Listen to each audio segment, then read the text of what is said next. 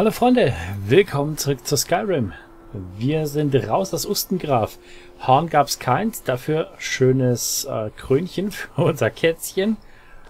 Und jetzt machen wir uns mal auf die Socken nach Mortal. Oder so, wie das Kaff auch immer heißen mag. Denn unser Kater ist richtig müde. Jupp, jupp. Unsere Fähigkeiten ver, äh, ja, verbessern sich sehr, sehr langsam und ganz allgemein müssen wir einfach mal wieder ein kleines Päuschen einlegen.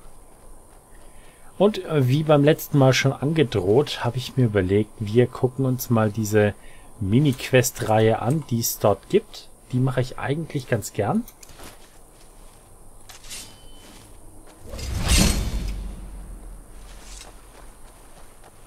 Da geht es ein bisschen um Vampire. Da können wir ein bisschen Vampirstaub einsammeln. Den brauchen wir ja auch noch. Und im Allgemeinen ist das so ein kleines bisschen... Ja, nicht unbedingt eine Detektivgeschichte. Es ist nicht so wie diese Mörderjagd in Dingsbums äh, ähm, Windhelm, sondern es ist mehr so ein bisschen Sleepy Hollow mäßig. Ähm, ein kleines bisschen Horrorgeschichte. Sehr schöne Sidequest, mache ich eigentlich ganz gerne. Kann man hier mit tollen Sachen verbinden. Und wenn wir für den Jarl hier drei Aufgaben erledigen, haben wir die Option ebenfalls einen Begleiter zu kriegen, so wie wir in Weißlauf Lydia bekommen haben. Ich bin mir gerade nur allerdings nicht sicher, ob ich mehrere davon... Ein Kurier. Natürlich. Ich habe nach euch gesucht. Ich soll euch etwas liefern, aber nur euch persönlich. Ja. Lasst mal sehen. Das Waisenhaus in Rifton hat eine neue Leiterin. Sie bat mich, diese Mitteilung und das Volk zu bringen. Das war's dann wohl. Ich muss los. Fantastisch. Wie die wohl zu einer neuen Leit Heimleiterin kommen? Kann man sich ja kaum vorstellen, dass da Bedarf besteht. Was wohl mit der Alten passiert ist? Wie sollen wir uns in unseren eigenen vier Wänden noch sicher fühlen? Bitte, es reicht.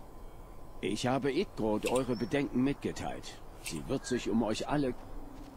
Geht bitte wieder an eure Arbeit. Wir brauchen keine Zauberer in unserer Mitte. Moortal hat auch so schon genug Probleme. Was habt ihr gegen Zauberer? Dann machen wir mal weiter.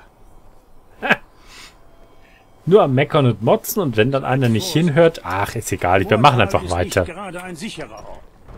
Das ist eine fantastische Einstellung. Ich bin bloß ein armer Mann, der versucht, sich durchzuschlagen. Ich würde Moortal verlassen. Könnte. Könnte. Wie fühlt ihr euch, Jarl Idgrod? Die Visionen halten mich weiterhin im Gleichgewicht, Gorm. Also unverändert. Keine Sorge, mein Freund. Alles ist gut. Na dann, wenn alles gut ist. Das Leben hat euch also nach Mortal und zu mir geführt. Wozu dies geschah, werden wir gewiss noch sehen. Willkommen. Der Kollege da im Zimmer links, oh, labert die schon wieder. Need something? äh, auf jeden Fall. Ah, jawoll. Das ist ja eine unserer Mods hier. Nein, lass mal gut sein. Ähm, ja, also wir können die Leute jetzt beschenken, wir können mit denen handeln und die auch ein bisschen verarschen und was auch immer. Also wir haben jetzt alle Möglichkeiten. Das kriegt man eigentlich natürlich erst, wenn man ein gewisses Level an Redegewandtheit erreicht hat. Das wir jetzt offensichtlich haben. Alright then. Wonderful. Tamriel steckt voller Weisheit und Magie, wenn man nur danach sucht. Super. Das Unsichtbare kann Unrast verursachen, sogar Furcht. Das ist zu erwarten. Einige fürchten unseren neuen Zauberer vor Ort. Wenn sie sich erst an ihn gewöhnt haben, werden sie ihn akzeptieren. Die Zeit wird mir recht geben. Ja, da bin ich mir fast sicher. Die Zeit kriegt ja irgendwie alles hin. Aha. Okay, die sind einfach nur ein bisschen... Wenn ihr etwas mit dem Jarl zu besprechen habt, solltet ihr zuerst mit mir sprechen. Bist du der Aushilfsjarl oder was? Ich versuche nach Möglichkeit zu verhindern, dass Igrots Zeit verschwendet wird. Sie soll sich nur um wirklich wichtige Dinge kümmern. Wie auf dem Stuhl da rumsitzen, Falten im Gesicht schlagen und... Naja, egal. Ah, das habt ihr also gesehen, was? Und gehört. Die Lage in Moortal ist in letzter Zeit angespannt. Die Leute sind unsicher, rastlos. Sie hängen fast mit religiösem Eifer an den Lippen des Jarl. Okay. Gibt's dafür einen besonderen Grund? Man munkelt von einer Rebellion gegen das Kaiserreich. In den Sümpfen hört man des Nachts seltsame Geräusche. Und dann ist Unsere da noch das Trauerspiel mit Rogars Haus. Die Männer sind einfach nur auf der Suche nach Weisheit. Alles wird gut ausgehen. Wollen wir es hoffen. Na gut, Dann gehe ich mal. finde ich gut. Ja, wir gehen auch mal. Da ist beim Jarl bisher nicht viel los. Nein, Aber tut mir leid. Nichts. Dann laber mich nicht an. Kurier. Gibt's ja gar nicht. Ach, der Regen kommt mir gerade gelegen. Dann verziehen wir uns mal in die Taverne. Endlich kommt jemand. Zieht eure Stiefel aus und bleibt ein wenig. Sagt mir, falls ihr irgendetwas benötigt. Momentan habe ich sehr viel Zeit. Okay, das ist mal eine eigenartige Einladung. Ach, das mit dem Regen. Eigentlich perfekt zum Schlafen. Ich kann bei Regen sehr gut Willkommen schlafen. Wir haben nicht viel zu bieten, aber wenn ihr einen trockenen Ort für die Nacht braucht, könnt ihr hier ein Zimmer bekommen. Ich dachte doch, die ist ein bisschen finster drauf. Ich dachte, wir haben es mit einem Dunkelelfen zu tun, aber alles tut die.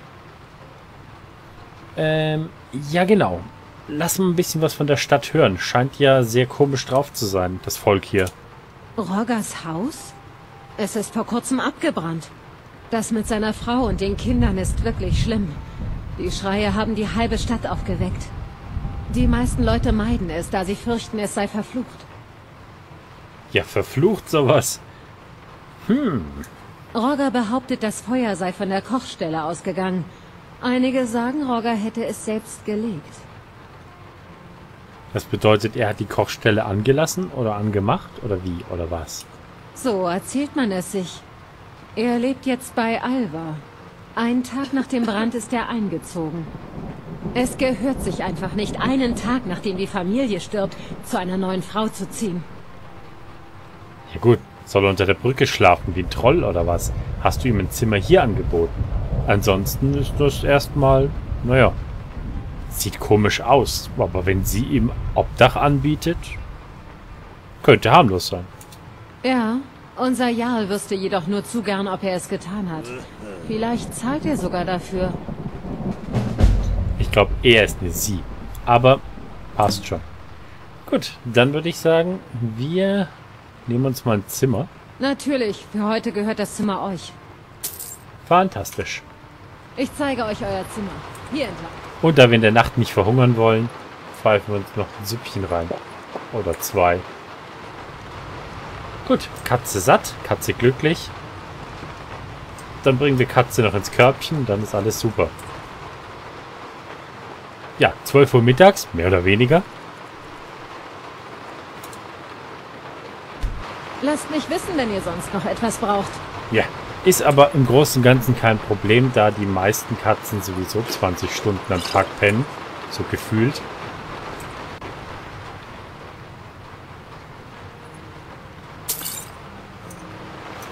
Bis dann. Ja, bis dann. Lydia, Schatz, du stehst schon wieder in der Tür. Oh, sorry. Das mit dem Kessel tut mir furchtbar leid. Ich hatte nicht vor, eine Taverne zu betreiben, aber Valion wollte hierhin, also bin ich mitgegangen. Jetzt bist du alleine hier und betreibst Wenn die ihr Taverne. etwas mit dem Jarl... Gut. Ich versuche nach Möglichkeit zu verhindern, dass Igrots Zeit... Ich versuche zu verhindern, dass mich Leute anlabern. Gibt's ja gar nicht. Nein, tut mir leid. Nicht. So, hüpfen wir mal beim Jarl aufs Nein, Bett tut mir und... leid. Ach nee, sie ist noch Nichts. wach. Sehr gut. Vorbildlich. Ich spreche und meine Worte dringen anderen ans Gehör. Ich hege die Hoffnung, dass Sie meinen Worten stattdessen zuhören mögen.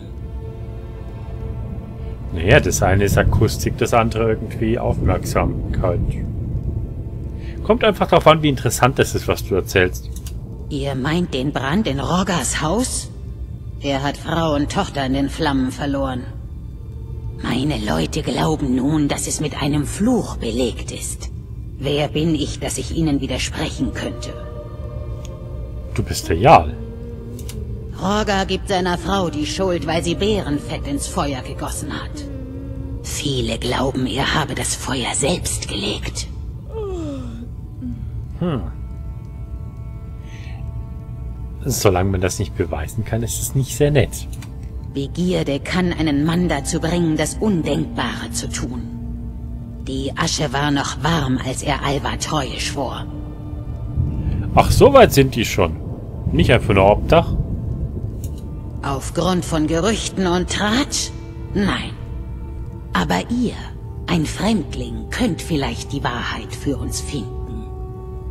Durchsucht die Asche, die andere nicht anzurühren wagen. Seht, was sie euch sagt. Wenn ihr seine Schuld oder Unschuld beweisen könnt, werde ich euch dafür belohnen. Rogers Klingt ja Schicksal schon mal super. eurer Hand. Da haben wir einiges vor. Lydia, Regenschirm, mitkommen. Wenn ihr etwas mit dem Jan... Nein, tut mir leid. Nichts. Sag mal, der Kurier hat auch Ich keinen anderen Job. Möglichkeit zu verhindern, trotz Zeit verschwendet wird. Sie soll sich nur um wirklich wichtige Dinge kümmern. Also der Kurier lungert nur rum, um mir zu sagen, dass er keine neue Post hat. Wer hätte es gedacht, er war nicht mal eine Poststelle, um was zu holen. Und dieser Steward hier, also der Stellvertreter vom Jarl, rennt mir auch den ganzen Tag hinterher und sagt, red mit mir, red mit mir. Oh. Oh, hi.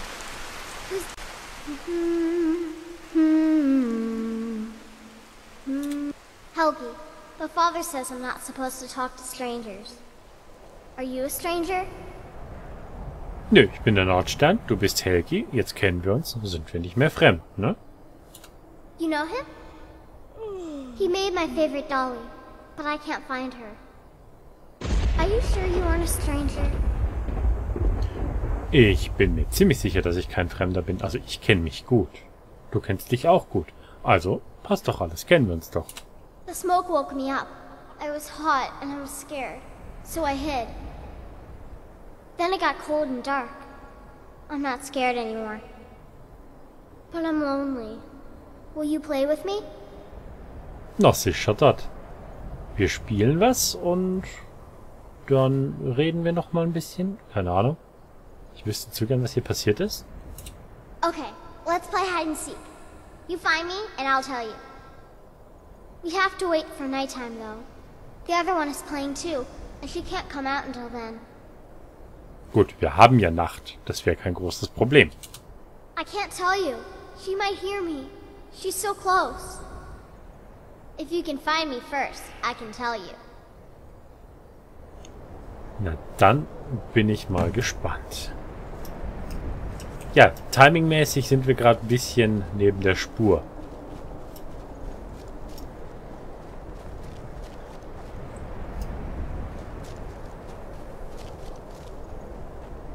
Irgendwo hier? Na also.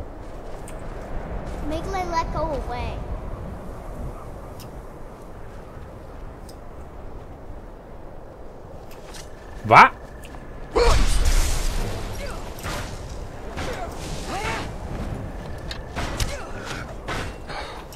Da.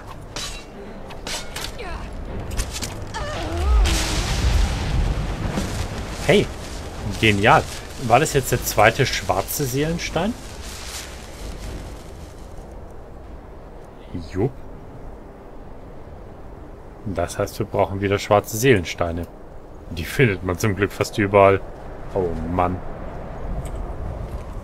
So, was haben wir denn da? Dietrich hier gleich drei Stück. Bisschen was davon. Nekromantenschlappen. Ja, würden wir Nekromanten spielen, wären die bestimmt ganz toll. Ah, Vampirrüstung ist eine leichte Rüstung. Also eigentlich dürfte ich, ja. Und wenn wir bei den Assassinen sind, wäre es nicht schlecht. Außerdem ist die Rüstung besser als das, was wir zurzeit tragen. Machen wir mal so.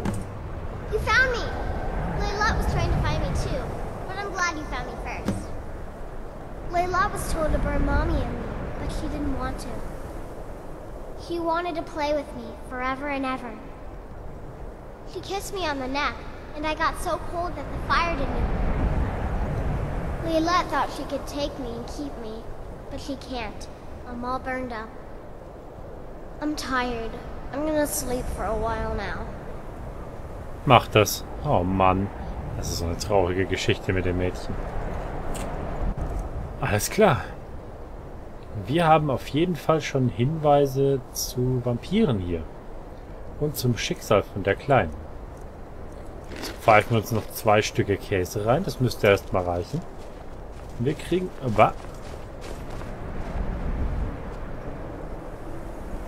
Welchen Grund hat er denn jetzt bitte hier aufzutauchen? Lilette, sie ist tot. Ist mir Spart. Sie ist... Sie ist ein Vampir. Hast du gut erkannt. Warum bist du jetzt hier? Sie ist tot.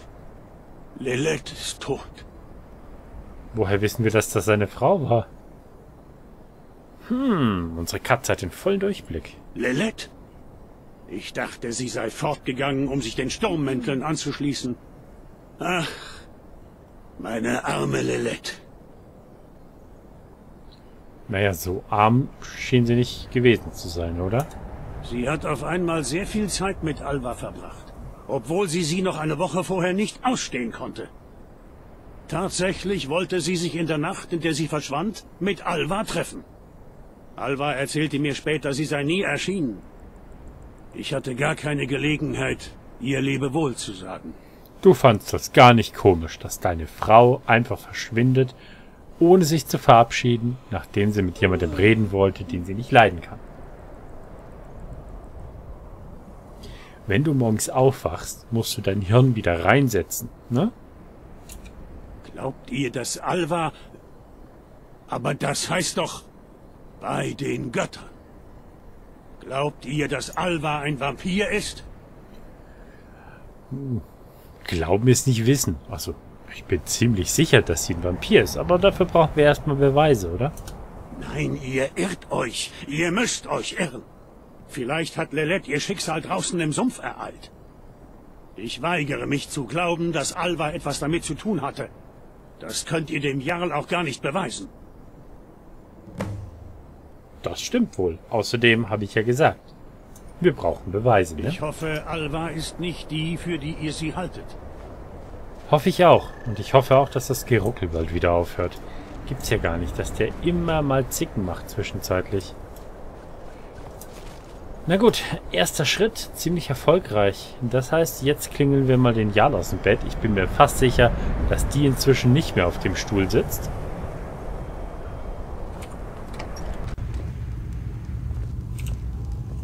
Gut, sonst hätte ich mir wirklich Gedanken gemacht, dass die vielleicht hier festgewachsen ist oder so. Aufstehen. Ist Horga unschuldig oder nicht?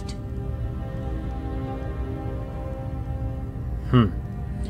Ich hatte eigentlich gehofft... Horgas Schicksal liegt in eurer Hand. Ich hatte eigentlich gehofft, dass wir von ihr die Erlaubnis bekommen, das Haus zu durchsuchen. Wenn ihr etwas mit dem Jarl zu besprechen habt. Ich versuche nach Möglichkeit zu verhindern, dass Igrots Zeit verschwendet wird. Ja. Sie soll sich nur um wirklich wichtige Dinge kümmern. Mir wäre es ja recht, wenn du versuchen würdest, zu verhindern, dass meine Zeit verschwendet wird. Du könntest zum Beispiel einfach verschwinden. Das wäre mal was. Und wir könnten zum Beispiel jetzt mal nach dem Haus von ihr gucken. Wenn sie wirklich ein Vampir ist, ist sie vielleicht... Was macht ein toter Todeshund hier? Wow. Da habe ich die Maus ein bisschen zu schnell bewegt.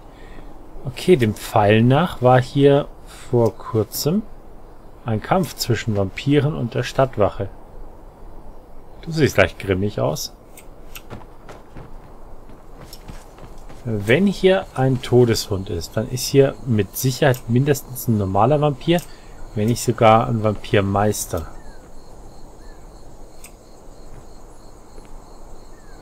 Pfeil zeigt nach da. Das heißt, eigentlich müsste der Gegner auch da sein. Wenn man sich das anguckt, wo die überall einschlagen. Nehmen wir mal an, die Wache hat die meisten verfehlt und dann den Hund erledigt. Okay, dann galten die Pfeile wahrscheinlich dem Hund. Bedeutet, da haben wir noch weitere Leichen. Sehr gut. Vampirmeister, ich hab's mir doch gedacht. Stahlpfeil passt, Vampirrüstung, ja gut, haben wir schon eine. Wo wir gerade von Vampirrüstung sprechen, die könnten wir eigentlich mal anprobieren hier. Zeig mal.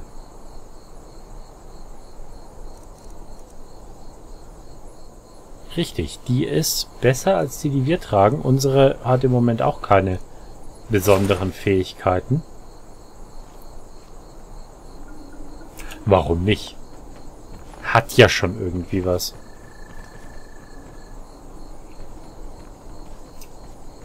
So, dann lass mal gucken. Alvas Haus. Abgeschlossen, aber so wie es aussieht derzeit mit der Stadtwache kein großes Problem. Ist mir sowieso irgendwie lieber, wenn der Vampir gerade mal nicht zu Hause ist. Ach, das gibt's gar nicht. Na also, hier. Fast. Na also. In geschlossenen Räumen hier. Wenig Platz. Ich glaube, da schenken wir uns das mit dem Bogen. Rocker, da schläft er ja. Und hat ein eigenes Bett gekriegt. Durchaus nicht schlecht für ihn. Und die hat einen offenen Sarg im Keller. Ja, das könnt ihr euch hier gerne durchlesen. Einfach auf YouTube hier ein bisschen Pause drücken, dann habt ihr alle Zeit der Welt.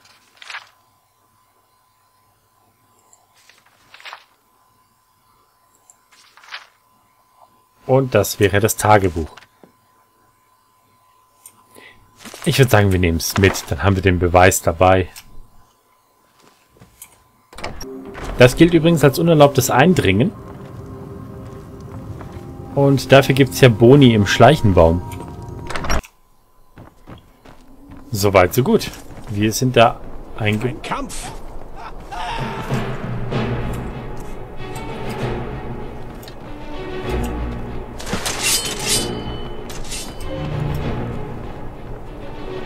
Okay, irgendwo sind wahrscheinlich wieder Vampire unterwegs. Da wäre ein bisschen nachtsicht nicht verkehrt. Manchmal kommen hier auch Drachen her, aber irgendwie...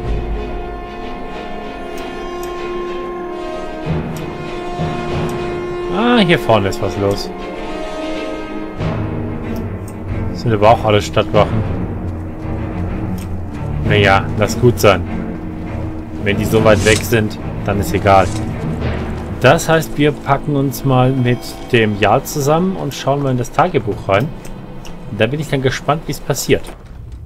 Im Normalfall gibt es ähm, da noch eine andere Möglichkeit. Ich werde nämlich sonst immer überrascht von dem Vampir und dementsprechend, ja, ist die Vampirin dann schon hinüber. Die summt im Schlafen. Tamriel steckt voller Weisheit und Magie, wenn man nur danach sucht. Ja. Nur wenige haben ihre Augen offen. Faszinierend. Alva, ich hätte nicht gedacht, dass sie dazu imstande wäre. Was? Ich nehme an, das könnt ihr beweisen. Solche Anschuldigungen kann man nicht vorbringen, wenn man keine Beweise hat. Ja, mach Sachen. Dann stimmt es also. Diese hinterlistige Schlange. Mortal ist euch etwas schuldig. Hier. Euch ist eine Belohnung für die Aufklärung des Verbrechens versprochen worden. Aber ich möchte euch um einen weiteren Gefallen bitten. Mortal ist immer noch in Gefahr. Das Tagebuch erwähnt Mowart, einen Meistervampir, von dem ich dachte, er wäre schon vor einem Jahrhundert vernichtet worden. Ich werde einige tüchtige Krieger sammeln. Sie warten draußen auf euch. Führt sie zum Mowarts Lager und setzt seinem Treiben ein Ende. Okay, können wir machen. Also gut. Tapfere Krieger und dann rockt die Sache. Okay. Bringt uns zu Mowarts Lager. Ihr seid der wütende Mob. Holt uns. Ja. Tötet den Vampir. Fan Töten wir ihn. Fantastisch. Tötet ihn! Okay, Fackeln habt ihr. Wo sind eure Mistgabeln? Wo sind die Krieger, die mir versprochen wurden? Warum nicht einfach ein paar Leute von der Stadtwache? Nein, tut mir leid. Nichts. Ich mach den Kurier bald rund. Das gibt's ja gar nicht. Okay. Ihr seid neu in Moortal. Wir noch nicht. Das Macht ist dir keine. Mühe. Ich bleib nicht lange. Alles klar, so viel zu den tapferen Kriegern. Der wütende Mob, der uns begleitet, im sicheren Abstand, wie ich anmerken möchte, wird wohl kaum sehr hilfreich sein. Wir könnten mal gucken, ob die Fackel uns ein bisschen mehr Licht macht.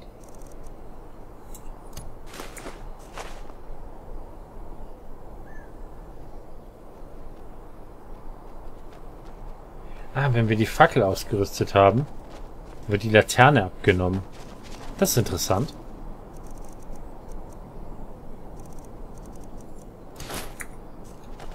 Machen wir das lieber so und packen die Laterne wieder dran.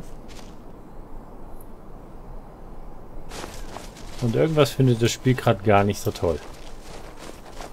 Wahrscheinlich macht Steam im Hintergrund wieder 1000 Updates. Das bedeutet, ich werde die Aufnahme jetzt gleich mal abbrechen. Und der Aufnahmetimer sagt mir auch, es wird langsam Zeit. Das bedeutet,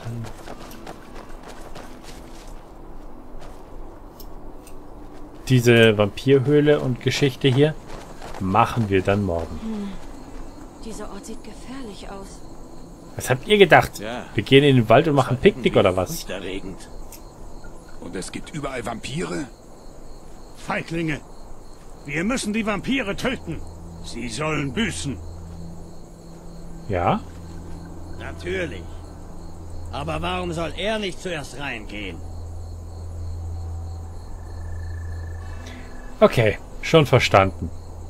Feige Hühner. Gut, dann gehe ich mir jetzt noch ein bisschen Mut antrinken und morgen gehen wir dann hier in dieses Lager Meistervampir stellen und hoffentlich niedermachen. Bis dahin, macht's gut, haltet die Ohren steif. Ciao, Freunde.